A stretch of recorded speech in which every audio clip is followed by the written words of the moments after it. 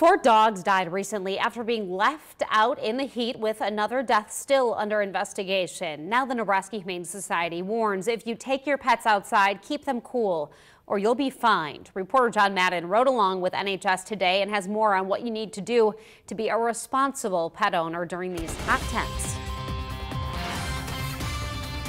Animal Services has been busy all summer long, not only responding to dogs being left in hot cars, but also animals being left out in the heat, which without the proper shade and water can be the biggest enemy for man's best friend.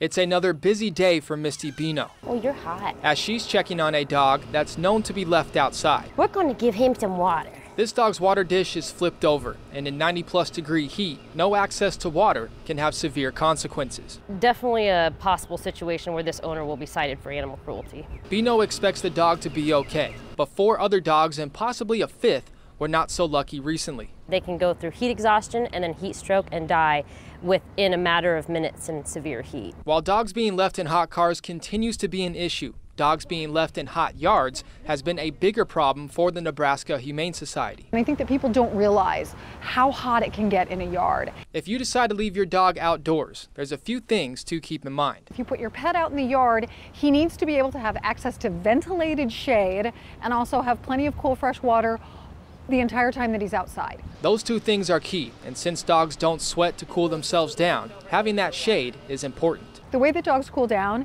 is to suck in cooler air and to pant out hot air. If there's no cooler air for them to suck in, if there's no way for them to get into shade and find cooler air, they can't cool their core body temperature down. The Humane Society expects to receive more calls this summer, so they urge pet owners to leave their furry friends at home where it's cool and also want the public to give them a call if they see a pet in distress. On several cases where animals didn't die, we were able to take quick action because someone noticed it and they called us right away. In Omaha, John Madden, 3 News Now.